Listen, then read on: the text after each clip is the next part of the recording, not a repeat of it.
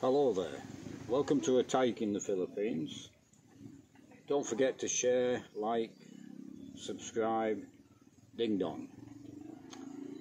Um, we had a little problem yesterday um, with a dog on site, and she had puppies, five of them, the first litter.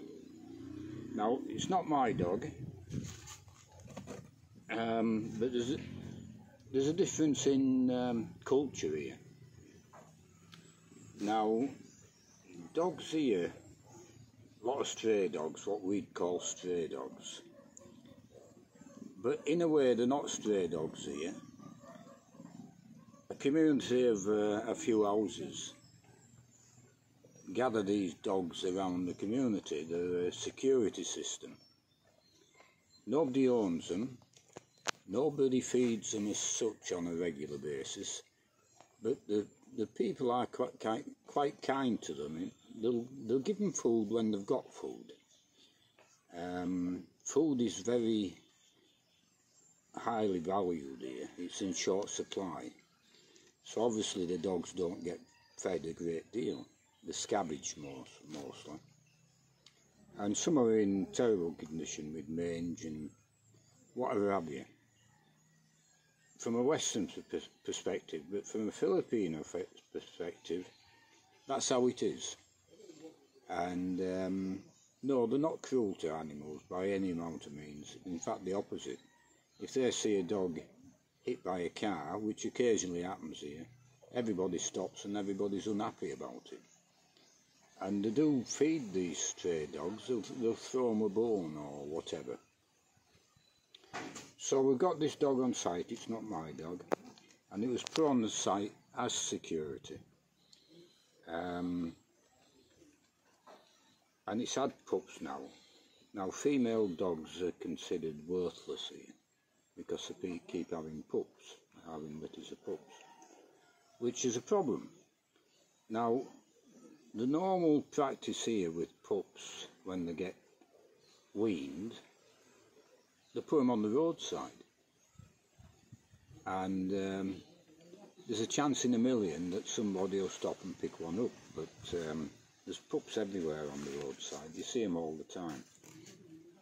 So really the pups have a lingering death, the vast majority of them, I imagine the odd one will survive and uh, grow to adulthood. Um, so this this dog, it bites as well. Doesn't bite me, but it bites strangers. So I was talking yesterday about what to, what they're gonna do with, about this dog, and because we feed it, I feed it or mostly. There's other people feed it. Any leftovers, um, it's fed. So, what's going to happen to that dog?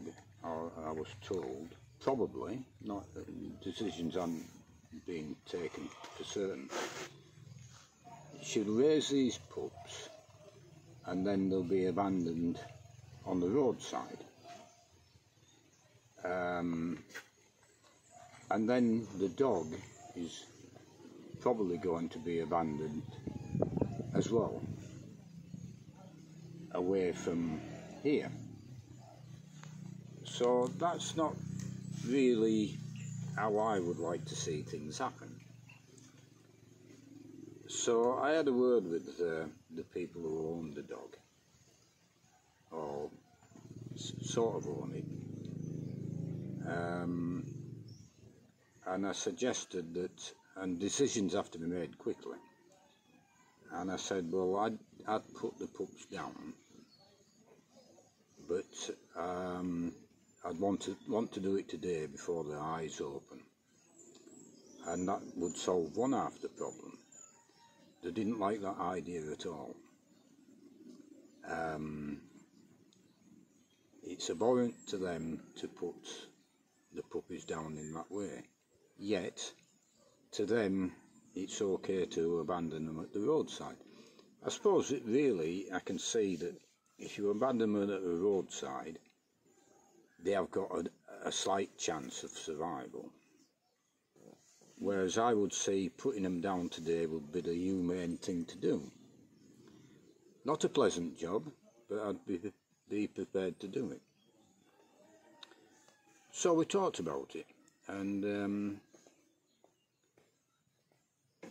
we've come to a different sort of conclusion. The dog is going to stay here. When I get gates up on on this fence at the front, we can stop her getting pregnant again, so there's no more puppies. And this little dog I've adopted, that's a female as well, so I don't want her getting pregnant. And if she stays on this site, she's on a chain now, all the time on a chain, because she bites. Anybody she doesn't know, she will bite. So if she stays on this site, it'd be good for me in so much she, she's a good guard dog. And anybody in this on this site who shouldn't be here once there's a gate on, she bites, that's a good thing. Um, so the dog is staying with me. So she won't be abandoned. So that's good. Uh, we've still got to resolve the puppies. And they don't want them put down. They'd rather abandon them and give them a chance at the roadside, which is fair enough. I can understand the logic in that. So what we've agreed is when the puppies get a bit older, we'll do as best to rehome i.e. put them on Facebook. Anybody wants them free to a good home. They smile at me when I said that because um, nobody wants them. They're every, uh, puppies are everywhere. They only want them if they're cute looking, so let's hope these are cute looking. But it gives them a chance by putting it on Facebook, a better chance I would suggest than on the roadside. So we'll do our best to rehome them. Now, if we can't rehome home them, which we probably can't, then what I've said I'll do is I'll take them down the vet. Now the vet here is, the only vet here is 20 mile away but I'll take him to the vet and have him put down. Um, so we've resolved the issue um, between the two cultures. Um, she's been on this site for two months, so I am a, I am responsible for her in, in to a degree. So that, that satisfies me that they'll be human, humanely disposed of if we can't give them away.